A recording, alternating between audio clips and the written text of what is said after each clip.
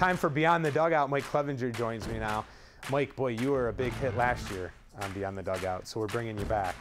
All right. First thing I want to ask you. A lot you. of pressure. Yeah, tons of pressure.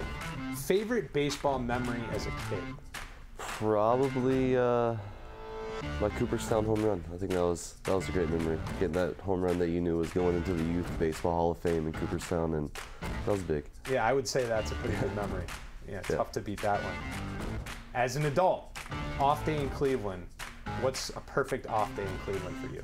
Get up, take the girls to the park, get breakfast at somewhere like First Watch in Crocker, get the girls back, have a sitter, and then uh, go to Greenhouse Tavern downtown, and then uh, have a nice steak and some good crispy Brussels sprouts, and then uh, a movie.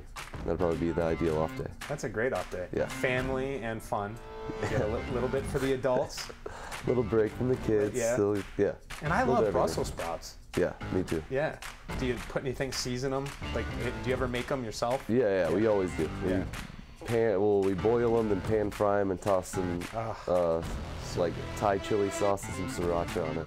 It's always a go-to. Have you ever tried honey? Yes, yeah, I have. Uh, Love the honey. Yeah. Um, last thing for you. If we had a genie here and you had one wish, what would it be? For more genies. yeah, That, that's a no-brainer, yeah, right? no-brainer. Right? And on that note, you're off the hot seat. Thank you. That was good. I know. More genies. More genies. More wishes. She's brilliant.